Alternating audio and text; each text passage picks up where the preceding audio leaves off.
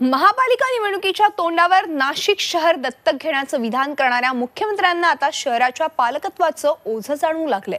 त्यामुळे प्रत्येक वेळी नाशिक दौऱ्यावर येणाऱ्या मुख्यमंत्र्यांकडे नाशिककर अपेक्षेने बघतात आणि मुख्यमंत्री आश्वासनं देऊन निघून जातात.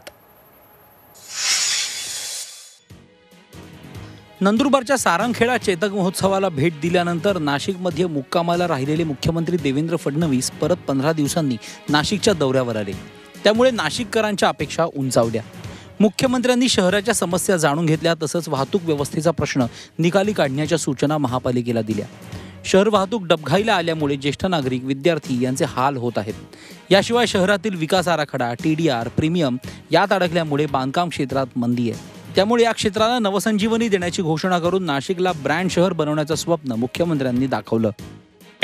आता एस टी ही जबाबदारी घेत नसेल तर महानगरपालिकेने जबाबदारी घेतली पाहिजे. आणि महानगरपालिकेच्या पाठीशी राज्य सरकार खंबीरपणे उभं राहील. मी लवकर एक बैठक बोलवून हे जे आपल्या इथे हा पब्लिक ट्रान्सपोर्टचा जो मुद्दा उपस्थित झाला आहे तो मुद्दा देखील आपण या ठिकाणी सोडवू.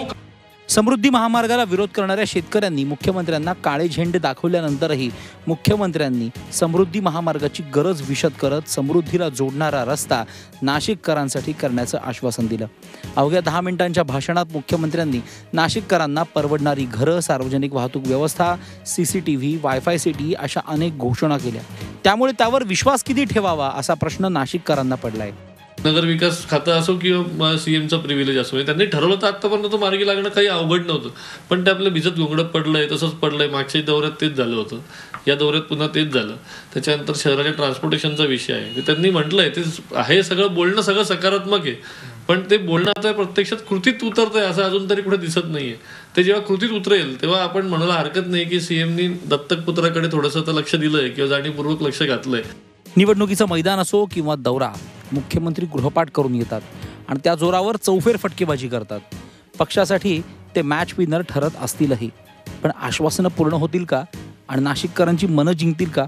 असा प्रश्न नागरिकांना पडलाय. Mukul Kulkarni Zee media Nashik.